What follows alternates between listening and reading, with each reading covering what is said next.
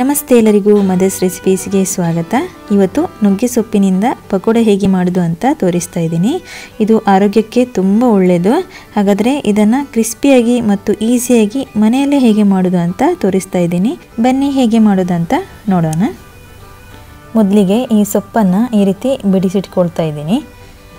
ಇದನ್ನು ಸ್ವಲ್ಪ ನೀರಿಗೆ ಅರಿಶಿನ ಹಾಕ್ಬಿಟ್ಟು ಚೆನ್ನಾಗಿ ನೀರಲ್ಲಿ ವಾಶ್ ಮಾಡ್ಕೋಬೇಕು. ಆಮೇಲೆ ಬೇರೆ ನೀರಲ್ಲಿ ಇನ್ನೊಮ್ಮೆ ವಾಶ್ ಮಾಡಿದರೆ ಆಯಿತು.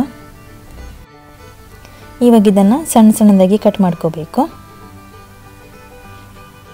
ಇಲ್ಲೀಗ ಒಂದೂವರೆ ಕಪ್ನಷ್ಟು ನುಗ್ಗೆ ಸೊಪ್ಪನ್ನು ಒಂದು ಬೌಲಿಗೆ ಹಾಕ್ಕೊಳ್ತಾ ಇದ್ದೀನಿ.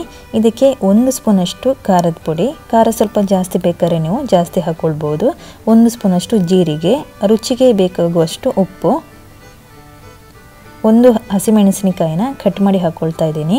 ಎರಡು ಸ್ಪೂನಷ್ಟು ಅಕ್ಕಿ ಹಿಟ್ಟು, ಸ್ವಲ್ಪ ಕ್ರಿಸ್ಪಿಯಾಗಿ ಬರಲಿ ಅಂತ ಅಕ್ಕಿ ಹಿಟ್ಟು ಹಾಕ್ಕೊಳ್ತಾ ಇದ್ದೀನಿ. ಮೂರು ಸ್ಪೂನಷ್ಟು ಕಡಲೆ ಹಿಟ್ಟು ಹಾಕ್ಕೊಳ್ತಾ ಇದ್ದೀನಿ.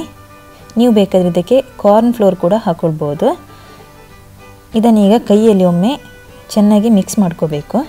ಇದಕ್ಕೆ ನೀರು ಹಾಕುವ ಅಗತ್ಯ ಇಲ್ಲ. ಯಾಕಂತ ಹೇಳಿದರೆ ನೀರಿನ ಅಂಶ ಇದರಲ್ಲಿ ಇರೋದ್ರಿಂದ ನೀರು ಹಾಕುವ ಅವಶ್ಯಕತೆ ಏನಿಲ್ಲ.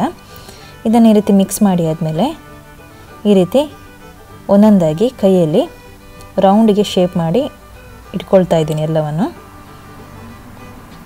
ಈ ರೀತಿ ನಿಮಗೆ ಯಾವ ಶೇಪ್ ಬೇಕು ಆ ಶೇಪಿಗೆ ಇದನ್ನು ಮಾಡ್ಕೊಳ್ಬೋದು ಈಗ ಒಂದು ಪ್ಯಾನಿಗೆ ನಾನು ಸ್ವಲ್ಪ ಎಣ್ಣೆ ಹಾಕ್ಕೊಳ್ತಾ ಇದ್ದೀನಿ.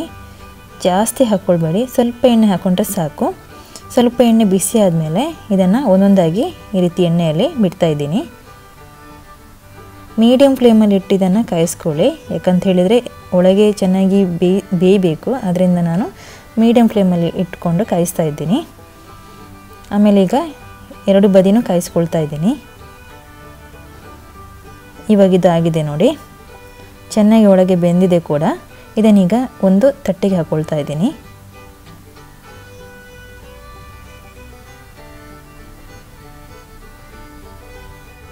ನೋಡಿ ಇದೀಗ ಆಗಿದೆ ತುಂಬ ಕ್ರಿಸ್ಪಿಯಾಗಿ ಮತ್ತು ರುಚಿಯಾಗಿ ಬಂದಿದೆ. ಇದನ್ನು ನೀವು ಕಡಲೆಬೇಳೆ ಹಾಕಿ ಕೂಡ ಮಾಡ್ಕೊಳ್ಬೋದು.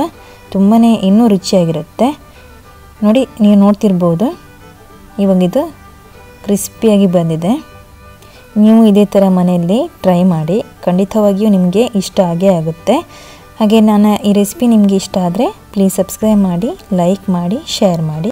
ಮುಂದಿನ ಮತ್ತೊಂದು ವಿಡಿಯೋದೊಂದಿಗೆ ಮತ್ತೆ ಬರ್ತೀನಿ. ಅಲ್ಲಿವರೆಗೂ ಧನ್ಯವಾದಗಳು.